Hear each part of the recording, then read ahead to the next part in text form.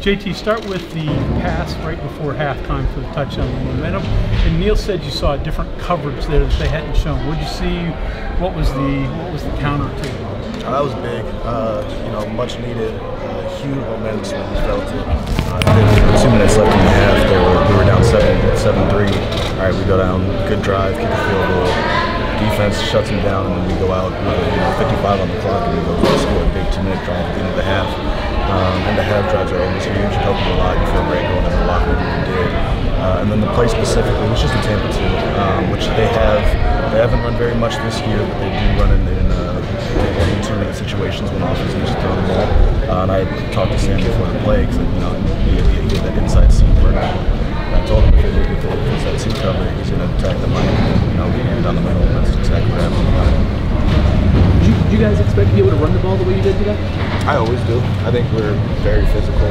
Uh, you know, ever since, you know, since I've been here, uh, just the way that this team works, especially up front, led by Frazier, um, and with a whole host of great running backs. I, I expect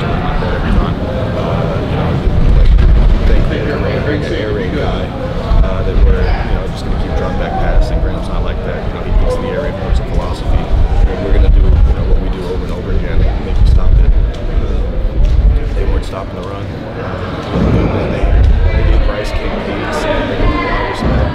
They uh, gave, gave, gave a lot of help over top and gave the run boxes and executed. As a quarterback, does that change your mindset just as far as managing the game, knowing the defense is playing great, knowing that you're bleeding clock that way?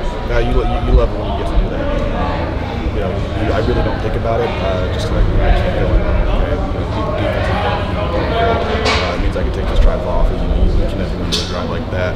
Uh, but it, but it, it, it, it definitely you notice it. You feel a lot better when defense is getting stopped after stop after stop. Late first half and then second half, when the offense is rolling, do you make certain adjustments to their defense? Do you figure see certain things to figure out with their defense, or we'll cut that offense kind of clicking at that point? I think I, I really feel like we were clicking the whole time. Um, the first drive we had a three and out, um, but after that, yeah, we went 98 yards, uh, got stopped in the red zone. He was driving again and just fumbled, field goal, drove again, got a touchdown.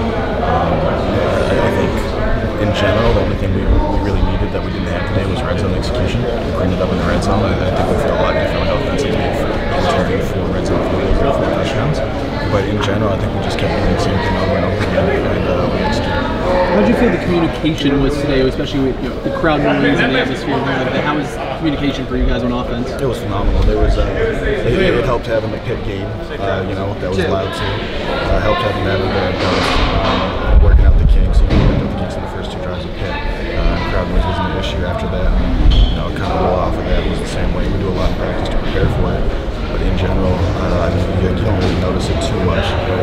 JT, the, the fourth downward, Gimmitter jumps, you back up. It, it could have been like a now, one of those moments, right? And a totally different outcome for you guys too. That, that feel like indicative of the growth you guys are trying to make and the mistakes you're trying to prevent or overcome. Yeah, and that wasn't even on James. That was uh, me, Frazier. That, that, that was really all up front. Um, you know, that, that was one time where being loud does hurt. Um, but for, it was more miscue on Frazier and I getting under center at the right time. Um, so that's not that's not even on one person. That's just uh, all around up front. You know, just something we got to clean up and. And yeah, like those are drive killers. They can be. Uh, you got lucky there. But uh, like the first game and the second game, you know, you, you have drive killers. You have a false start on the one, or you know, just small things like that that you know they can change the outcome of the game. You were kind of uh, critical a little bit after the Kansas game with some of the mistakes. They have gone away last game, whatever, but not really there today. Didn't get in the way of stuff too. Did you see growth collectively as a team that people took it seriously, and here you are even now, not even two weeks later?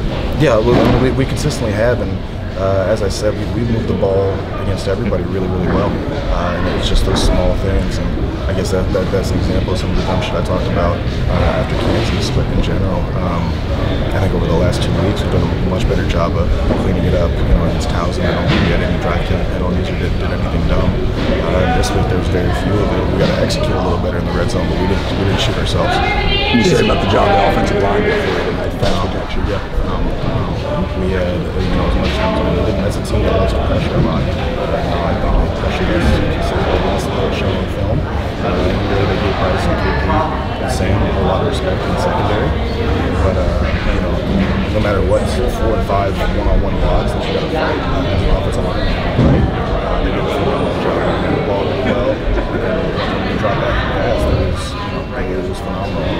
This is your first taste of this rivalry. A, wh- what's it like to lift a trophy up in the middle of the season, and then just if you can't compare this this atmosphere of this game to some other rivalry games you've been in? Uh, it, it's awesome. You know, anytime we play for a trophy, uh, it's always fun. Uh, you know, every situation. Um, compared to a former rivalry, like the, the environment in general felt, you know, you know kind of Pitt-esque where it's, it's loud, it's personal. Um, you know, especially when it goes to the side of the competition, competition. Uh, you know, all rivalries, all rivalry games. are fun. All right. All right, it. Thank you very much.